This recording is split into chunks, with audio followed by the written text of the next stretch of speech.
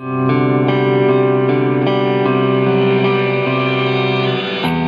away for a priceless gift. One not subtle, one not on the list. Send away for a perfect world. One not simply so absurd. In these times of doing what you're told,